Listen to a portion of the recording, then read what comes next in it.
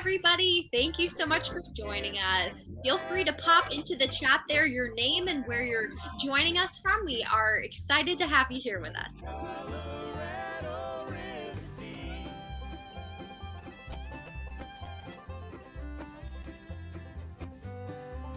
As you're joining us here, feel free to pop in your name and where you're joining us from um, into the chat function. We are so excited to have you.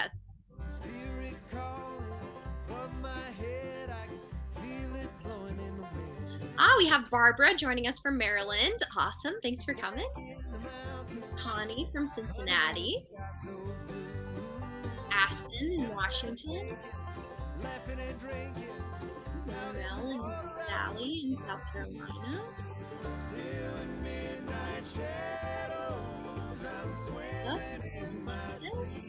Sue from Michigan.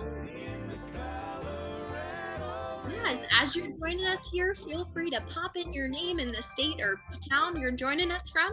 Um, we're so excited to have you with us. We have Vicki in California, Lois in Atlanta. Thanks for joining. Trish from Pennsylvania. Ooh, we have Barb joining us from Alberta, Canada. Awesome.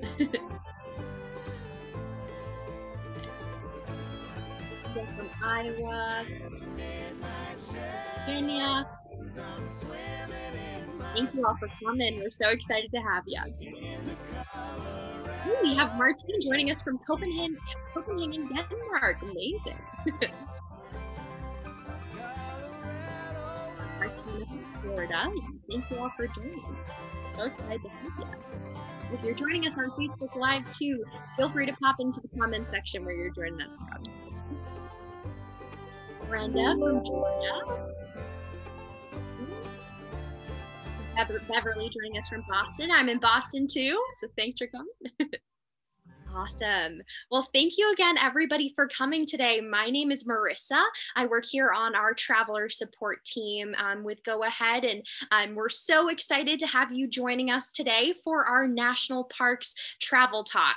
We are running our tours as of the, you know, we actually have just got back from one of our National Parks tours um, right now. So we thought, what a great time to get together and, and chat through these tours. So we're going to learn a little bit about our parks today, uh, but just some housekeeping things. You know, you are joining us today on a webinar, so we can't see you, um, we can't hear you, but we would love to hear from you. So as we're going through the presentation, if you have any questions that you would like us to chat about, feel free to pop those into the Q&A box if you're joining us via Zoom, or if you're here with us on Facebook Live, feel free to pop that into the comment section as well, because we're so excited to answer your questions.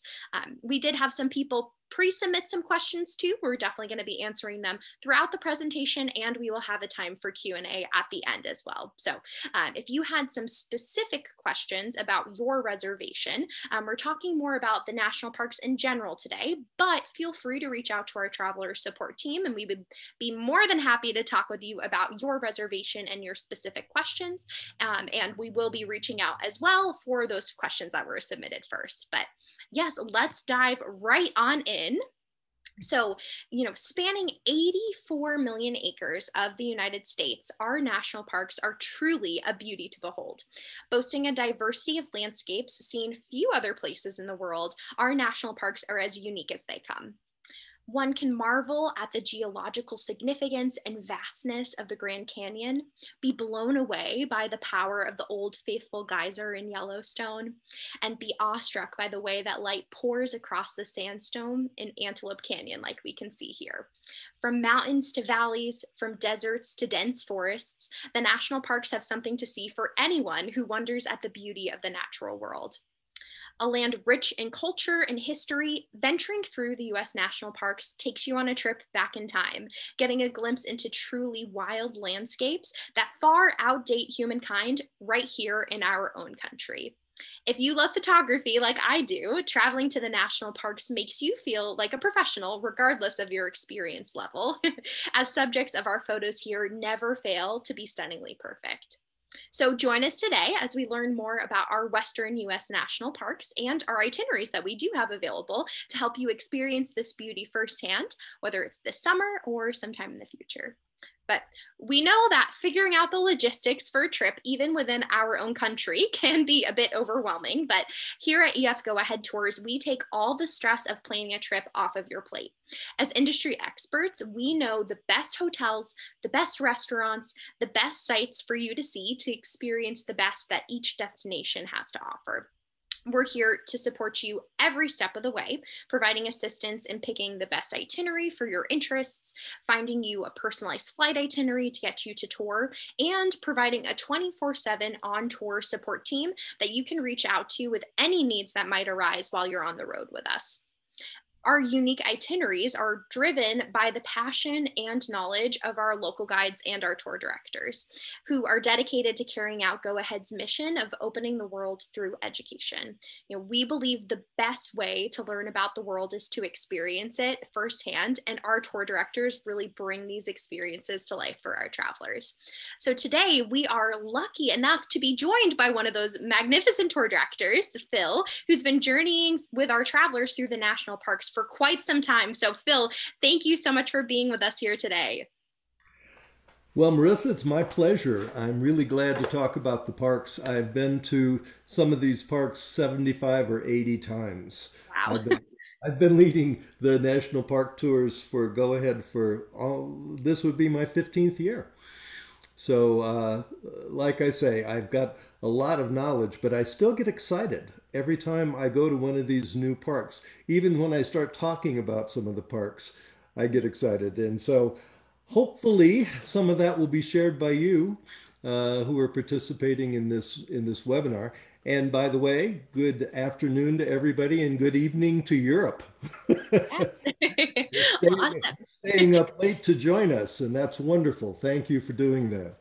We are so happy to have you all. And to get us started, we're going to do a wonderful little poll. Um, so it's going to pop up on your screen. If you don't see it in the middle of your screen right now, go ahead down to the menu bar. Um, you'll have a chance to click into it. Um, but essentially, we're asking how many national parks are there in the United States? So if you just click one of the answers and submit it, um, that will pop it on in and we will see those results in just a second, but let's see what we know. How many national parks are there within the United States? I'll just give you another minute. I won't answer because I know the answer, but.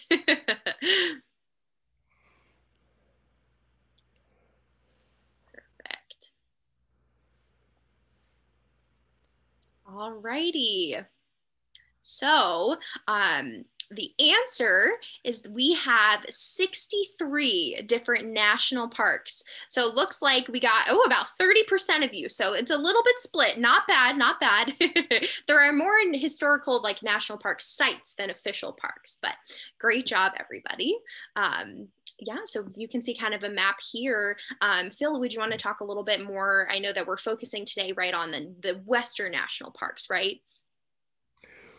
We are. In fact, if you take a look at this uh, graphic that we've got up there, there are national parks all the way out to the eastern United States, but a quite a cluster in the western United States. And I guess the reason for that is because there is so much to be seen in terms of different kinds of landscapes in the West. That everything from granite mountains uh, high mountains to sandstone to canyons to valleys and rivers and beach and so much to see in the Western parks. And we're going to be touching on a few of those today. Um, ones that are all part of the various national parks tours that we that we offer here at Go Ahead. So the, we're going to do it by state, and the first state is going to be Colorado. I'm talking to you from Albuquerque, New Mexico.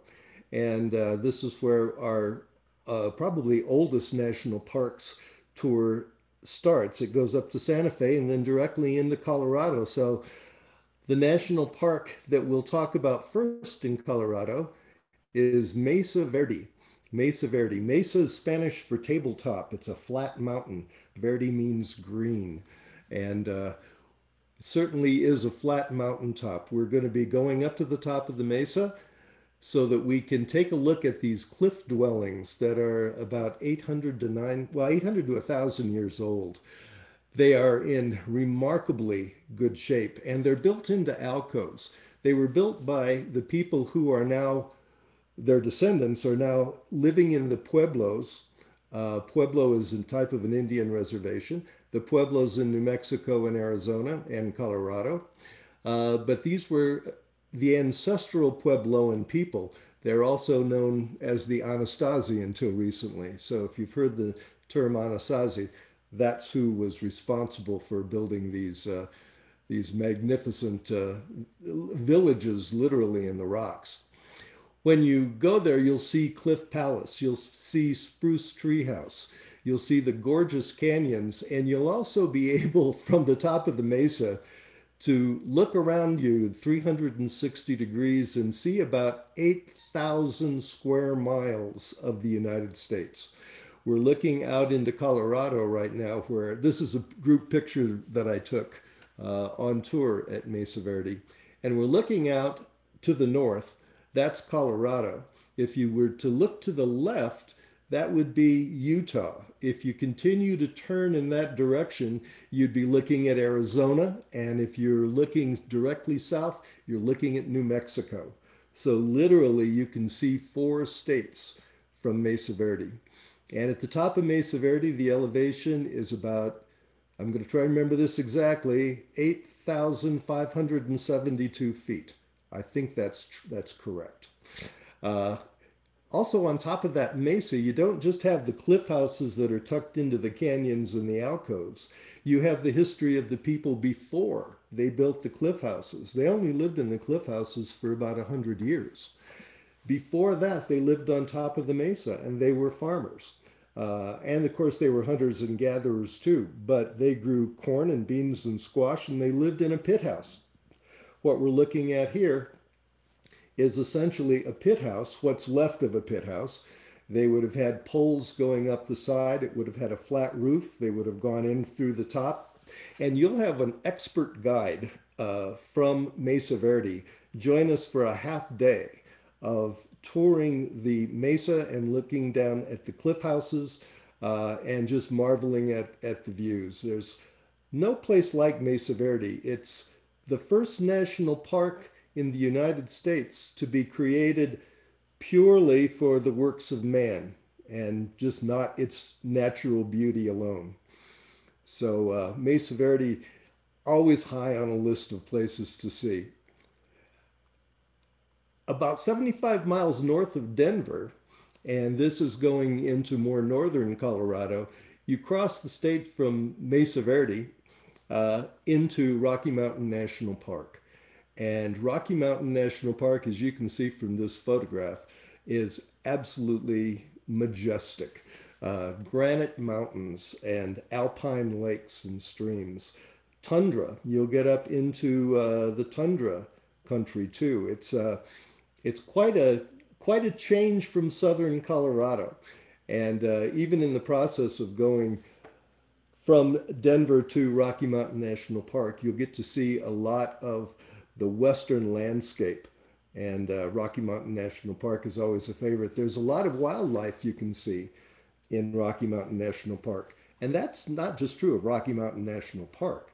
I mean, I have seen elk at Mesa Verde before, uh, mule, very large mule deer. Here we're looking at some Rocky, uh, some Rocky Mountain bighorn sheep, and uh, there are herds of them in the national park. There's a very large elk herd also in Rocky Mountain National Park, and they're always fun to see. They're migratory, but so you never know where you're going to find them. But there's about 1,500 in that elk herd in Rocky Mountain National Park. So for those of you who like to go out there and see the flora and the fauna, there's quite a bit of fauna in the national parks. They're protected.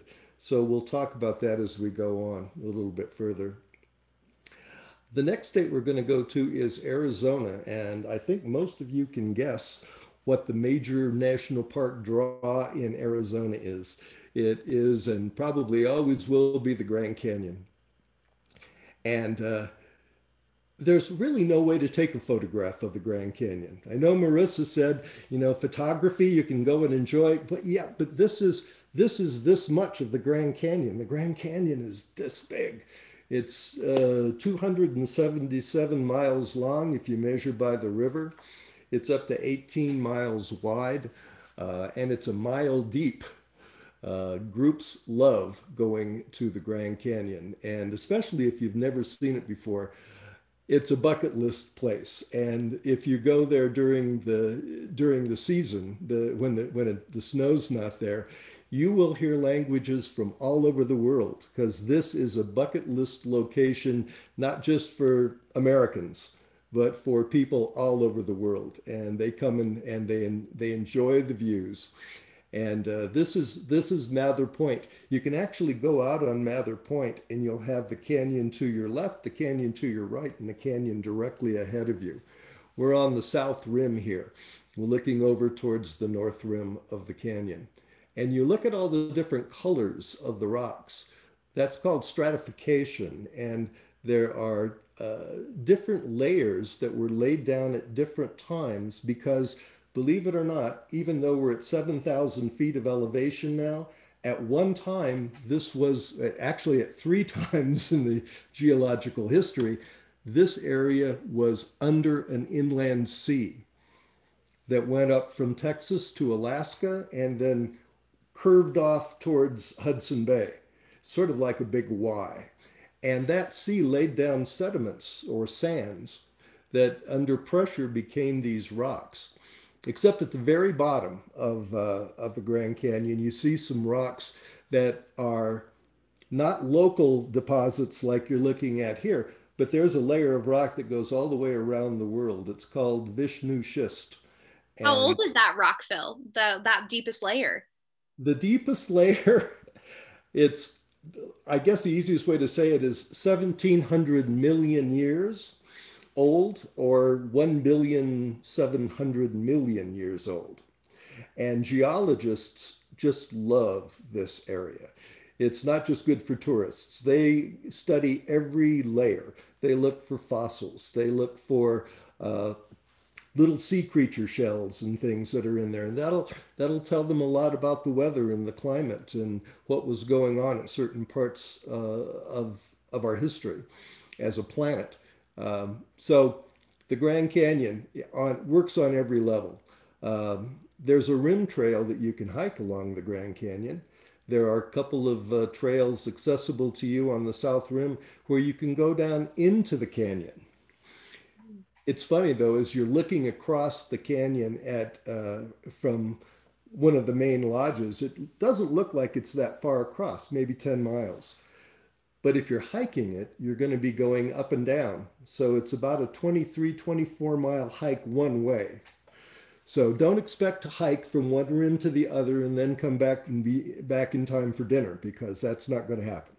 that definitely sounds like an adventure. That's awesome. It's a, it's a, it's a vigorous hike, but you know you have the options of you have the option of doing things at the Grand Canyon. One of the things you can do on your free day at the Grand Canyon, um, and it's really it really is an adventure. You can fly in the early morning hours over the Grand Canyon, so you're in an airplane at dawn, looking at the Grand Canyon from the air over the canyon then you'll go up to Page, Arizona. You'll go through Antelope Canyon. The original slide that we showed you of that slot canyon that looks like it's made out of peach meringue, you know.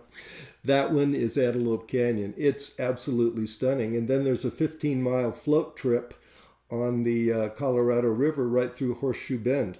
That's a 12 hour day. And it's, uh, if you take a look, I think it's about $489.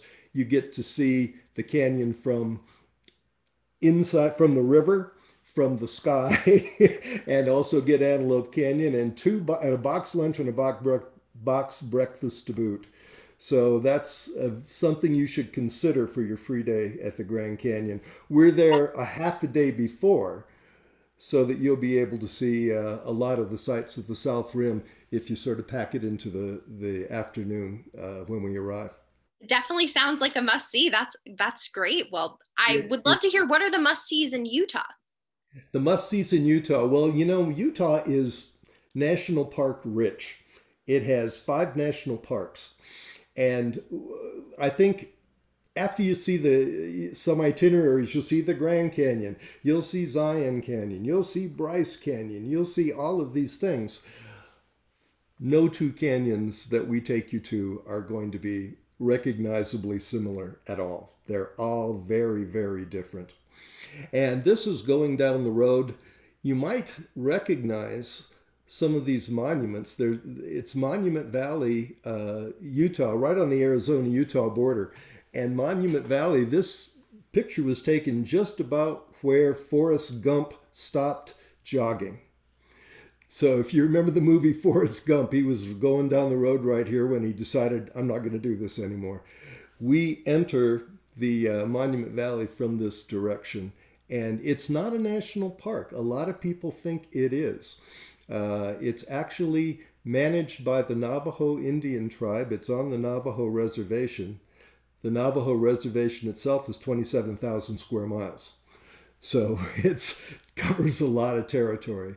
But if you take a look at the these, if you look to the photograph on the right, the iconic picture of uh, Monument Valley has those two rock formations, the one in the middle and the one on the left.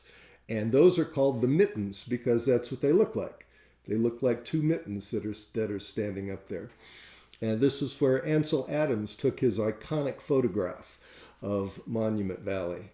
And uh, of course, John Ford made all of those westerns, uh, Stagecoach uh, in Monument Valley, Searchers. Uh, it's it's so recognizable that when you actually see it in person, you're just stunned because it's so much more magnificent than even you think it's going to be. Um, and again, it is it is in high desert. Uh, we get to Monument Valley at the perfect time of day. When we get to Monument Valley, the sun is low in the western sky behind us.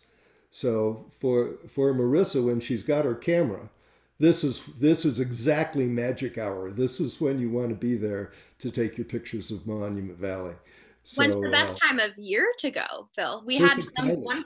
Joan had submitted kind of what's the best time of year to to go to Monument Monument Valley. Mm-hmm. Monument Valley um, in the wintertime is covered with snow. Believe it or not, it's high desert and it's in the, on the Arizona Utah border, but it does snow there in the wintertime. Anytime that you want to go, um, from I would say mid to late spring all the way through fall and autumn, it's ideal. Uh, it's dry. The the odds of getting rain there uh, of any significant quantity is very very small. Uh, it's on the Navajo reservation, so it is it's as remote as you think it is by looking at the pictures, quite honestly.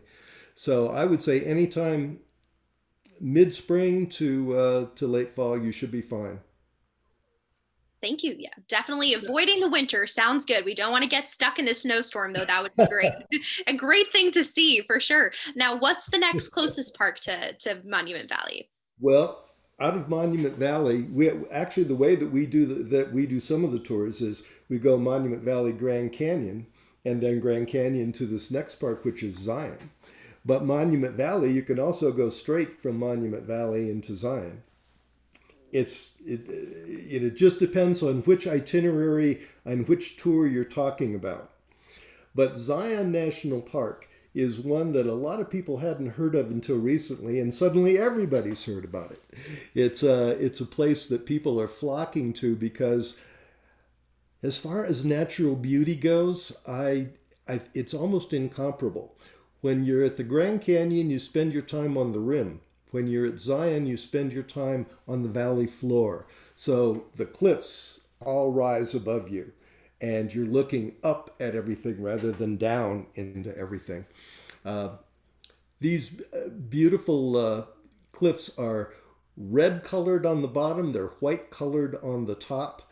Um, they are part of what is called the Grand Escalante staircase, which is various layers of color in the rocks that proceed all the way from, if you want to consider uh, the Grand Canyon, from the Grand Canyon all the way up to Bryce National Park. You see all these different colors.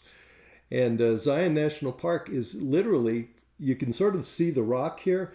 It's fossilized sand dunes that were thousands of feet tall. And they've been compressed into this, uh, what they call Navajo sandstone. This is a picture I took of one of the, uh, bighorn sheep. This is a female that's out there.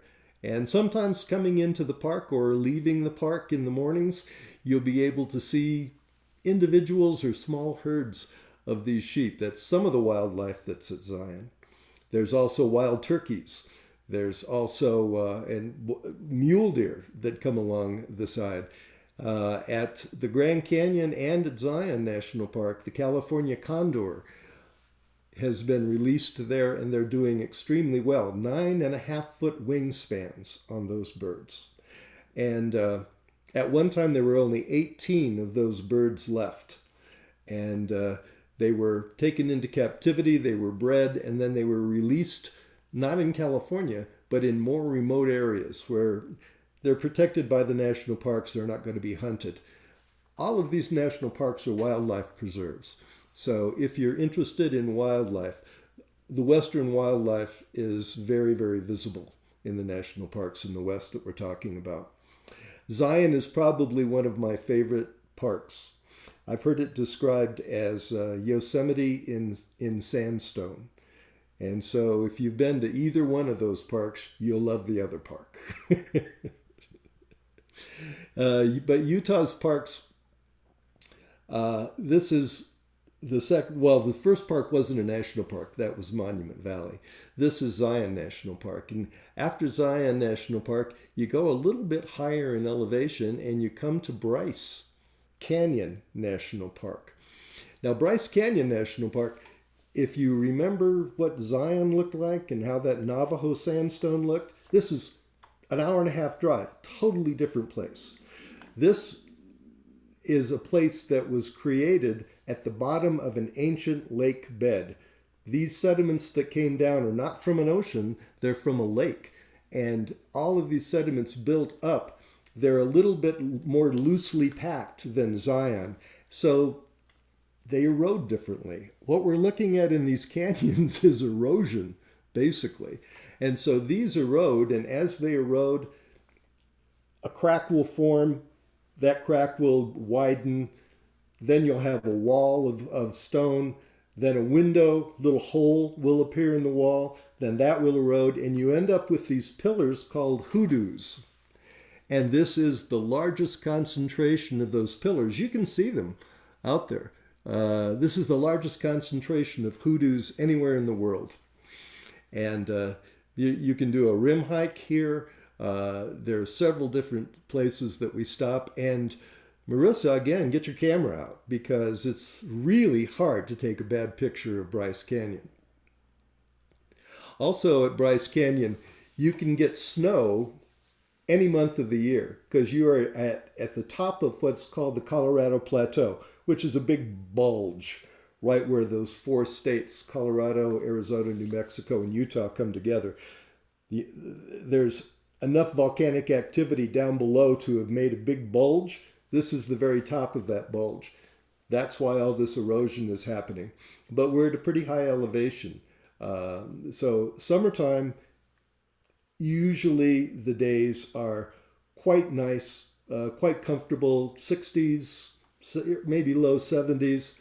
And then maybe within hours it will be 50s but that fluctuation do you have any packing tips? I know you're saying too we're going from more desert landscapes to tops of mountains. What are your recommendations? That's exactly the point. If you're going to go out into the national parks in the western uh, uh, western united states you've got to be prepared for high desert type weather which is cool evenings your evenings maybe get da- maybe get down in the 50s or depending on the time of the year maybe even the 40s uh, and then the days can be up in the 70s and the 80s uh, then depending on elevation where you're going that could change in the course of a single day.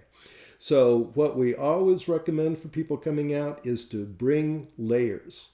Bring, bring something you can leave on the bus if it gets warm or you can put on if it gets cold or cool and uh, also, it's always nice to have a little rain poncho or something that you can throw on just in case a squall comes by. And normally the rain out here doesn't last like it does back in the Midwest where I was born. Uh, you, you could rain steadily for a couple of days back there. Here, usually it, uh, if it starts raining, it comes down hard and fast, and it's over in a very short time. Normally, that's the rain cycle. It could be 10 or 15 minutes, or it could be an hour. Very rarely do you sort of do you see the kind of day where you get you get steady rains. People in the West pray for steady rains. Don't get me wrong. We're in the middle of a 25 year drought out here, but nevertheless, uh, it's not that not that common to get a steady rain. Well, thank Another, you yeah, well, I was going to say thank you so much for that info. It sounds so much like living in New England. Be prepared for anything, bring your layers. Sounds perfect. But yes, there are other places in Utah that have really cool rock formations, right? The Arches was one of them. This is the this is a picture of Arches and we're over by the Colorado border in the eastern part of the state now. And this is an unusual park. You'll recognize the sandstone as being the kind of sandstone that was made from uh, not seas depositing sediments, but you know when you have your uh, well, just like just like in Zion, you're going to have mounding up of uh, of sand that under that is compressed under pressure. If you look at, at this sandstone that's right here, this Navajo sandstone, imagine that there was sediment that went another 5,000 feet above this at one time, and it has all been eroded down. And this, this is a, a stop in uh, Arches National Park called uh, Wall Street. If you remember Indiana Jones and the Temple of Doom, there was a big charge of uh, horses coming up here. They filmed a lot of that in uh, the national parks, and a lot of that came from Arches National Park. This is one of our groups there. You can see we're there early in the morning, and uh, it's very common in Moab to have the blue skies and the sunny days. They're, uh, they're in the eastern part of Utah. It's a very dry part of Utah. But the soil and the, the amount of greenery that you have around there is actually surprising. The arches themselves, this arch is probably about 90 feet, 80 to 90 feet high. It's called Double Arch. And uh, you can see uh, us approaching Double Arch, but you can't see the people that are already in Double Arch. Or if you can, you've got really good eyes. But they look very, very small compared to the size of that arch. Not all of the arches are that big, although some of them are bigger.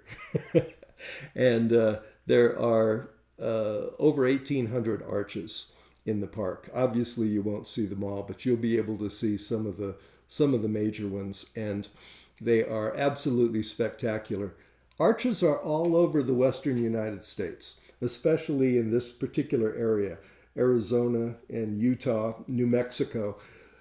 They get arches, but this particular place is it, it, it happens to be on a mile deep salt uh, formation. And the weight of the earth above turns that salt into a gel. So there are earthquakes, but they're not felt on the surface because there's this big pad of jelly, basically, in between where the earthquake starts and where the surface is. So these arches normally would be destroyed by natural phenomenon. These arches are not and that's why there are so many of them there. And uh, this national park was hardly ever visited until about 1970. And uh, now, oh boy, if you're a mountain biker, if you're a rock climber, you know all about Moab and Arches National Park. But to get away from some of the red rocks and to get into a little bit of a different, uh, uh different kind of landscape, we'll go to Wyoming. And uh, when we go into Wyoming, there are two national parks that are absolutely stunning. The first one, you may recognize those alpine granite mountains in the background. It's America's youngest mountain range. It's called the Grand Teton Range. It's not a long mountain range. It actually is a result of a volcano, well, it's a geological fault uh, where there was an uplift and these mountains just got pushed up into the sky. And uh, they are absolutely gorgeous. Mountain climbers uh, come out to the Grand Tetons all the time. Skiers in the wintertime, they have a lot of uh, winter sports up in Jackson, Wyoming. You'll also see bison there. You'll see elk. This is a picture I took of an elk who was sort of looking at me like, What are you doing here? Uh, but there's elk, there's what they call pronghorn. They used to call them antelope, but I think they're mostly called pronghorn there now. Grizzly bears uh, roam through the Grand Tetons and through Yellowstone. And you can tell the grizzly bears from the black bears. Sometimes black bears are pretty light brown, but uh, this one's got that hump on its shoulder and the big round head, and those are definitely grizzly bears. Uh, usually, we can see a grizzly bear or two because uh, we, depending on how much time you spend in the parks. But the grizzly bears are pretty common. This is the Snake River uh, with the Grand with the Tetons in the background. It's a picture that I took on tour on a very calm day, um, and we you know we don't just go past the Tetons. We actually go very very close to them, and uh, one of our stops there uh, one of my favorite stops is a stop at Jenny Lake, and this is this is Jenny Lake, and take a look at the mountain in the background, and then the reflection of the mountain uh, as it uh, comes right down to our group photograph there. Uh, it's a beautiful, beautiful place. What you don't get in this photograph uh, is the smell of the forest, and that everybody they come back in and they go, it smells so fresh out there. It's, there's a pine forest and there's an alpine lake and there's beautiful mountains. And uh, this was later in the year. You'll notice everybody's wearing their, their winter gear uh, and there's snow on the mountain too. There's, there are glaciers in the Tetons. There's not too many of them left and there's, they're not the kind of glaciers that move down the mountain. There's what they call hanging glaciers or sort of in little bowls that are up there on the top. But you can see a couple glaciers when you're uh, coming up by the Tetons. Now, Phil, you were we're talking about you know being in more of a mountainous landscape as we're in the Grand Tetons. Yep. What is mobility like? We've had a good number of travelers kind of submit some questions around that. So, how mm-hmm. accessible are these different parks? You know, both Jenny Lake and really all the ones that we've talked about. How are they accessibility wise? Well, particularly right here, since we're we're looking at Jenny Lake, there is a very well established path that goes off to the right and goes off to the left. So you can take a little bit of a walk out there and uh, enjoy the lake, just enjoy the enjoy the forest and enjoy the trees and the mountain views. But uh, most everywhere we go, the accessibility is very good. Uh, if your mobility is not good, you don't have to take advantage of these hikes. Like in the Grand Canyon, the rim trail is a trail that is well worn. And so it's right on the edge of the canyon, not to the point where it's dangerous, but you can walk along the uh, the rim trail and even the South Kaibab Trail and the Bright Angel Trail going down into the canyon uh, a little ways. And those are all very, very well established. Uh, at Bryce, there is a uh, an opportunity to take a walk.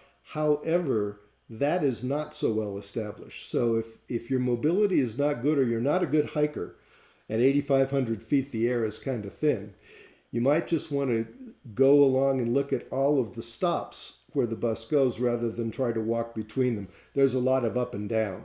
But the thing is, your tour director knows about this.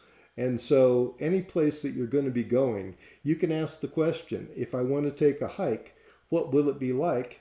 And how long will it take? How long is it going to be?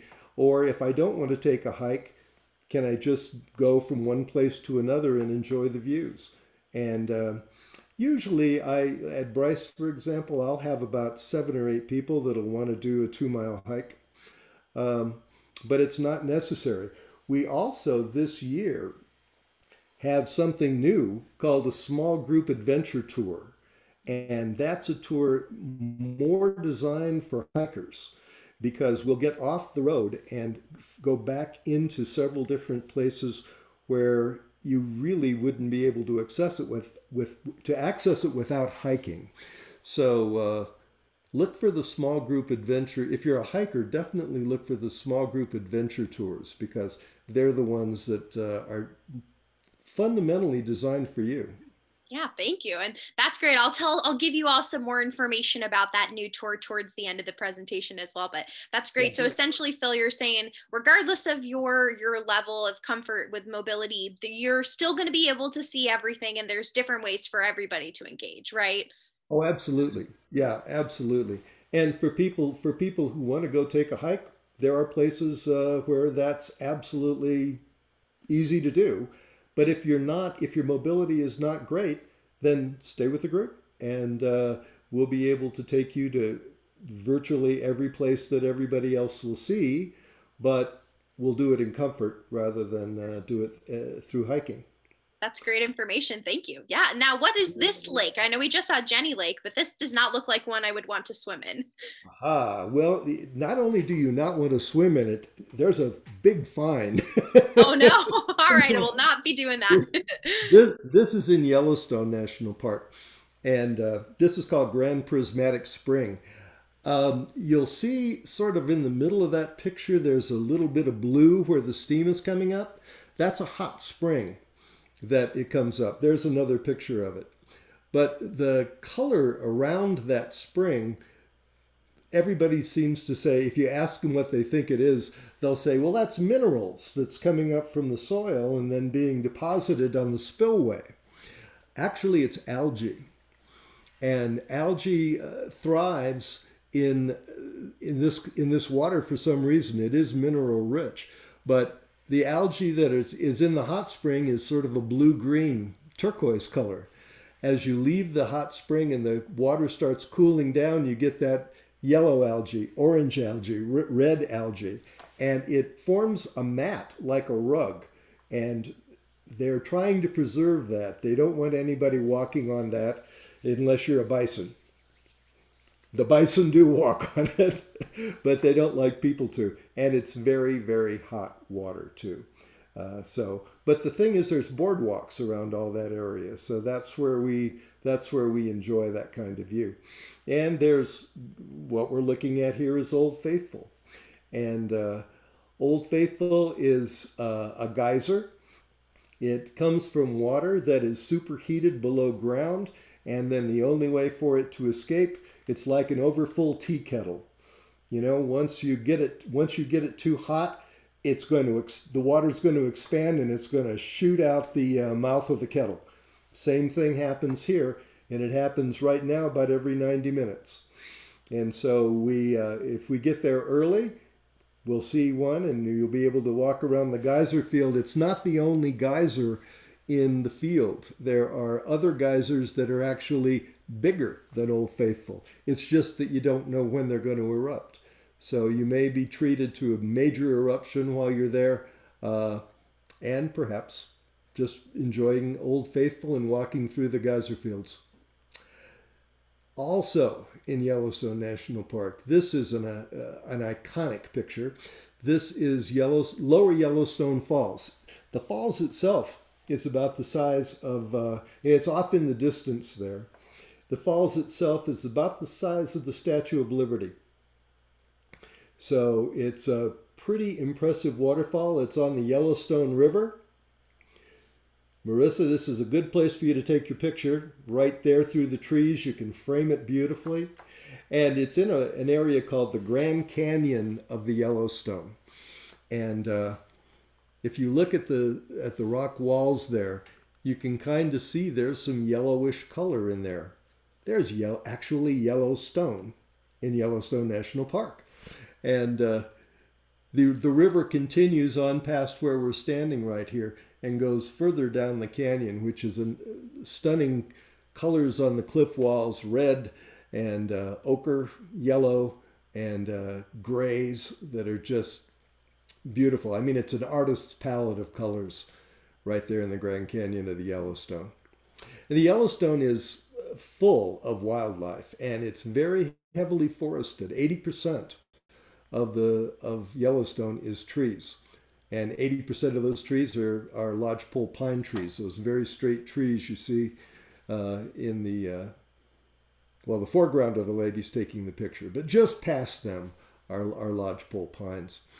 And so within those, within that environment, you'll see bison, you'll see elk that are around there. Uh, I can't promise you how many that you'll see, but uh, there are grizzly bears in there. There are some black bears, but mostly uh, grizzly bears. And again, a great place to see wildlife in Yellowstone Park. Montana. We actually go to a national park up in the northern part of Montana. It's called Glacier National Park. And it is stunning. I mean, if you liked what you saw with Rocky Mountain National Park, Glacier National Park is a little further north. It's maybe a little more of a wilderness area. This is Lake McDonald. Uh, there's a beautiful lodge right there at Lake McDonald. And then the Going to the Sun Highway uh, is something that everybody should do because it is one of the best mountain rides that you'll ever experience. You'll go winding through the roads past landscape like this. You'll notice on the left hand side there's a cascading waterfall coming down, big granite mountains, a lot of greenery because they get a lot of snow in the wintertime, and of course, the snow melt uh, just keeps everything fresh. Uh, beautiful, again, alpine lakes, and uh, you get to feel like you're on the top of the world when you actually get up to the crest of uh, of Glacier National Park. The one thing that there isn't much of in Glacier National Park is glaciers. A hundred years ago, there were there were glaciers everywhere, but most of the glaciers have receded because of the change of climate. So uh, where it's still called glacier, and there are still a few high glaciers, but it's not like you can walk up and touch a glacier anymore. Those days have uh, have left us. But again, you've got uh, flora, fauna, and beautiful, beautiful landscape to take a picture of. And again, one of the nice things about being there is you can breathe the air. It's different. You know, it smells different. It tastes different. It's a, it's, it's a wonderful experience being out there. California. California has got a bunch of uh, national parks too, but probably the most beautiful park in California, and maybe even among all of them, uh, is one that we will go to after we pass through Death Valley here. Death Valley, if you think about Death Valley, you probably think of the Sahara Desert. You probably think of nothing growing. It's extremely hot here. It's very low elevation, uh, but you would be wrong. Death Valley is absolutely gorgeous. These are not sand dunes that you're looking at. These are mountains, and this is a view from a place called Zabriskie Point. And uh, there's another a place called Artist's Palette. The colors in Death Valley will surprise you. Um, and of course, there is a flat land and a valley, and there are sand dunes uh, in one little area of the valley that you can you can romp on if you wish. But uh, Death Valley has got just stunning, stunning views, and there's even a there's even an area where a stream comes out into Death Valley and evaporates away. But in that two inches of water, there is a fish that you only find in Death Valley called a pup fish. It's about two inches long. Aggressive territorial, they just, they're fighting constantly for territory because there's only about this much stream and it's only about that deep. But uh, there's more life out here than you would actually expect. And uh, Death Valley is a beautiful national park overlooked by many, but certainly worth a visit. But this is Yosemite. It should remind you of Zion. It's got the towering cliffs. It's got waterfalls. Zion doesn't have too many waterfalls, and they're not very big unless it rains, and then there's waterfalls everywhere. But in uh, Yosemite, you get waterfalls that are there year round and actually freeze during the wintertime because it does it is high in the mountains in the Sierras, and it does get cold. If you go in the spring uh, or early summer and there's been a good snowfall in the Sierra Mountains, there will be waterfalls everywhere you look. in Yosemite, and I can't even tell you where because they change from year to year. They're just called volunteers. And the snow melts, and it's looking for a way to go down with gravity, and whatever way it finds, that's where it will create a waterfall. And uh, Yosemite is granite. This is El Capitan. They recently made a, a documentary movie of a fellow who free climbed, that is, with no ropes and no tools, free climbed El Capitan. And that is one of the most harrowing climbs you can possibly make in, uh, in the United States. But it's not unusual to go to see to in the summertime to go to El Capitan and to see people making their beds halfway up the mountain, hanging there in uh, you know, with uh, with ropes and and and uh, pitons that they have put into the wall, and rolling out their sleeping bags. Uh, the Merced River goes through there, and it makes beautiful meadows. But if you look in the background, you'll see a mountain called Half Dome, and Half Dome used to be a full dome somewhere in geological time, but a glacier as huge as that mountain, probably bigger, moved through there during a, an ice age and literally sheared off half of that dome. And it's quite an amazing thing to see. Again, there are black bears. You'll there's just black bears all over the place in uh, in Yosemite. They don't care about you particularly. They see so many people every day, and they they grow up with you that they just go on about their business. Uh, but you can look at the mule deer off to the left here. There's a little uh, look at the Merced River. And then uh, again, more waterfalls. There's Upper Yosemite Falls, Bridal Veil Falls. Uh, these are the year-round falls that always are going through there. And uh, it's hard to find a more beautiful place than Yosemite. But if you go to Muir Woods outside of San Francisco, you'll see some beauty that is a little different than Yosemite. Although Yosemite does have Mariposa Grove, which is redwood trees. These redwood trees are called coastal redwoods. They're uh, Sequoia sempervirens, and they are among the highest trees in the world. In fact, the, the tallest redwood tree and the tallest tree in the world is a coastal redwood tree. And uh, it is about 380 feet tall. It's a little bit north of Muir Woods, and they won't tell you exactly what tree it is because people being people, somebody will want to go in there and cut it down. how old, how long does it take for a tree to grow that tall, Phil? Uh, a coastal redwood tree can live to be 2,200 years old, as far as they've been able to measure. Uh, sometimes the bark on them gets to be about a foot thick, uh, that's one of the reasons why they live so long. we all know about the California wildfires, but the insulation of that bark resists the heat of a wildfire. And so, although you will see some of the redwood trees are burned out at the base, they're still alive and they're still growing. So, uh, yeah, they, they will get over 300 feet tall. And as you can see, you can go through Muir Woods on a boardwalk. And that's what they encourage you to do. So you don't have to worry about, you know, slipping on leaves or, you know, hitting a root with your toe, stubbing your toe on a root that's, that's stuck out. But you'll learn a lot about these magnificent trees that used to be all over the West Coast.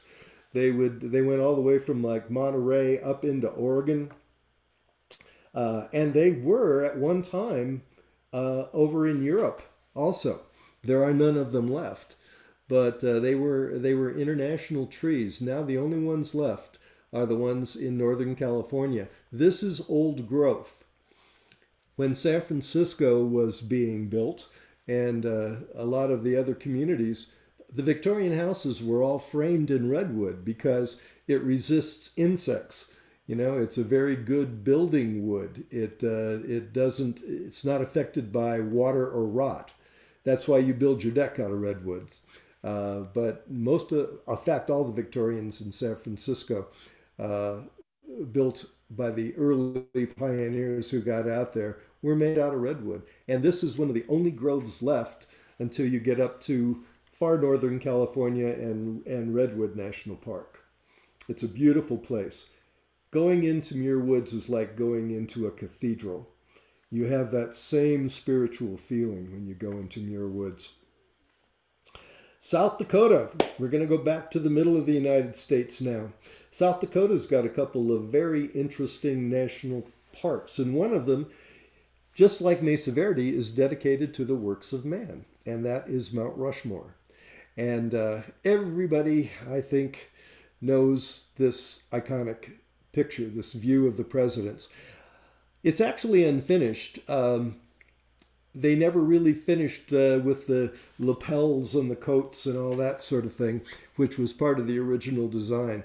But when you see it, it is very, very impressive. And there's a loop, a walk that goes down. It's a paved loop called President's Loop, goes down from the visitor center right to the bottom of the mountain. So you can get lots of different views and photographs of, uh, of Mount Rushmore.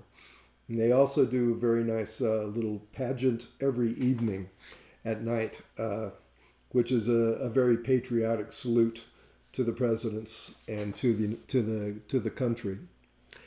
Completely different national park, yet it's only about an 45 minute drive from Mount Rushmore is Badlands.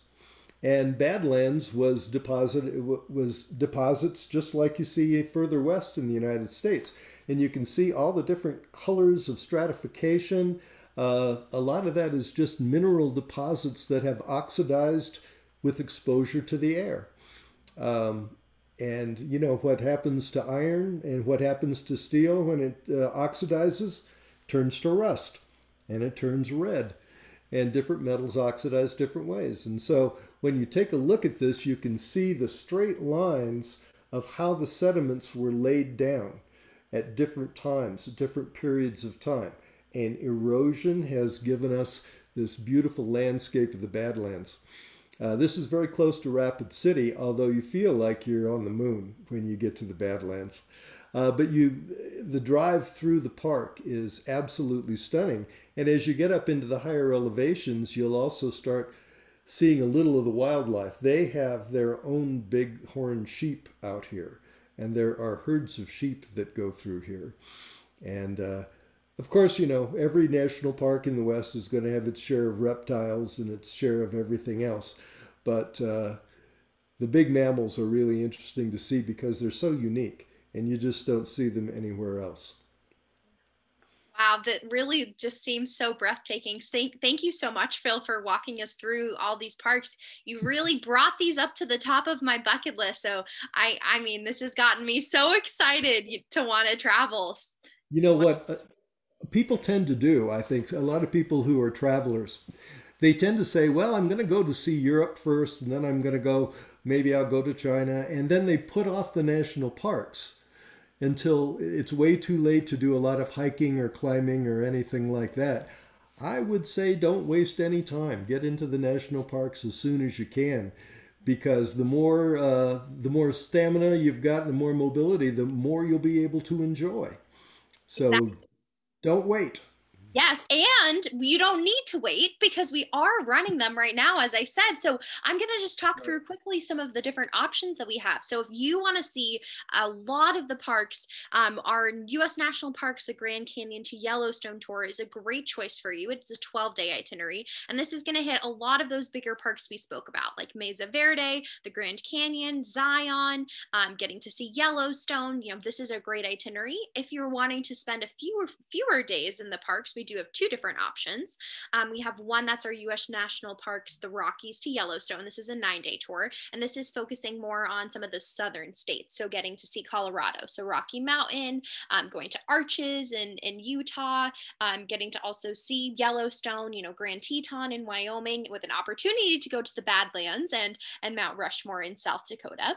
Or if you want to hit some of those more northern states, we also have our Grand Canyon to Zion, or actually, this is the southern one. Sorry, I I, I got it backwards. this is the southern state, so it's also nine days. And this is going to go more Grand Canyon, getting to see Sedona as well, which is beautiful, Bryce Canyon, Zion. They're awesome trips. And as we had mentioned earlier, we do also have our new adventure tour um, to the national parks. So we'd love to introduce that. So if you are looking for some more hands on, culturally immersive, um, more opportunities to do hiking and things like that, definitely check out this one. It's very similar to the one that we just saw. So seeing Sedona, Bryce Canyon, Zion, the Grand Canyon, but just a nice week in the Southwest to really immerse yourself directly into this these beauty, this beautiful, you know, scenery and everything. So yes, um, and we'd love to have you join us. But we're going to move into a time of some questions and answers, Phil. So I just want to transition us into that. Um, we had one question that came in um, from Armony that I thought was very helpful, um, talking kind of about the average time on buses, you know, going between these different locations on tour. So, what is kind of that average transfer time that travelers should expect? Boy, an average time is going to vary from tour to tour and from location to location. Um, but I would say that the longest time you could expect to be on uh, on the bus during a regular during a regular uh, itinerary would be about four hours with a break in between. So you know we don't we, we don't like to keep you on the bus longer than about an hour and a half, hour and forty five minutes. Uh, then we'll stop someplace and we'll take a break. We'll do a stretch, and uh, you have to understand that, for example, the the national parks tour that I've been doing for fifteen years that's 2,400 miles from beginning to end. And that's without the extension. so you're going to be covering some beautiful landscapes. But even as you're traveling on the bus, you're going to be looking out the window at an ever changing, gorgeous landscape wherever we go. Uh, it's going to be very interesting. And I know that most of the tour directors, I certainly do, we have some uh, videos that we can put on that are educational, that have to do with the area where we are, that will keep your attention. And I've even known people to nap. a great time to do it. Yeah, that's what I always do when I'm on our tours. But I feel like if I was doing the national parks, there's so much to see that I probably wouldn't want to sleep. that's absolutely right. Mm-hmm. Yeah, no, that's great. Well, we have another question that had come in from Kathy. Um, you know, for our travelers who are interested in learning more about Native American history, are are there certain destinations specifically that would be best for travelers to want to add to their bucket list? Yeah, the southwestern United States, mm-hmm. uh, New Mexico, Arizona, uh, Utah. There's a lot of history there, and there's a lot of Indian culture there. Uh, New Mexico, specifically, where I live, we have kind of an equal balance of three different cultures because the we have the indigenous culture, the Puebloan culture, and some uh, uh, Apaches are, are here as well, and some, well, Mescalero and Jicarilla Apaches, and Anglos, like myself, and then the Spanish that came in from Spain into Mexico and then up from Mexico into uh, New Mexico. Those three cultures are almost equally represented here. And the same is true in uh, places in Arizona and southern Utah. They're very much involved with indigenous people culture. So you will see a lot of the handicraft of the Indians and where, where we stop. And when I say Indian, I'm not being disrespectful. In New Mexico, indigenous people call themselves Indians. It's just the way it works. Uh, so I'm not trying to be disrespectful by saying that, but there the various cultures are very very well represented in the Southwest to this day. In fact, I just saw on the news last night, uh, a hot flash here, that there is a movement by the indigenous people to reclaim the national parks. Mm and they want to manage them. So they're saying, hey, that was our land in the first place. So that is how active an Indian culture we have out here. Uh, you'll if you're if you if you want to see more of it and learn firsthand what it was like, definitely the southwestern United States. That's great. Oh, thank you. And then we have time for one more question. Um, we were hearing from Christine, you know, in terms of like, I know we're spending some time on the bus. How do we handle like seat rotation or seat assignment on tours usually for on the bus? Seat rotation has just been a given. I mean, we would always say, everybody, we're going to do take yourself, find yourself a seat, and then we're going to rotate. I would always do it like three seats clockwise during time of COVID, it's it's going to be very common not to do seat rotation for a while, uh, just because if you make yourself a little nest, then you you can be safe in that nest. You're not going to be following anybody who might have exposed themselves to something. And so uh, these days, there isn't a seat rotation unless the tour director decides that he's they're going to do that. But that will probably continue for a while. And a lot of these questions, because of the COVID situation that we have on our hands, it changes from day to day and week to week. So uh, whatever I tell you is true today. yeah and that and that's another great you know we're my yeah. team here the traveler support team that's a great resource for us we're we're are, we're a great resource for you i mean that we're we're happy to answer any questions that travelers have as we're getting closer about what it looks like specifically on um, your trip because as phil said things can change from day to day that's but right. Yeah, again, I just wanted to say thank you, Phil, for joining us today. Um, if you guys loved this webinar, we are, or well, first off, if you love this webinar and you would like to join us at one of the national parks, feel free to reach out. We would love to have you. Some spots are filling up for the summer, but if you're interested in these national parks we talked about, or even Alaska, we even have some in Hawaii too.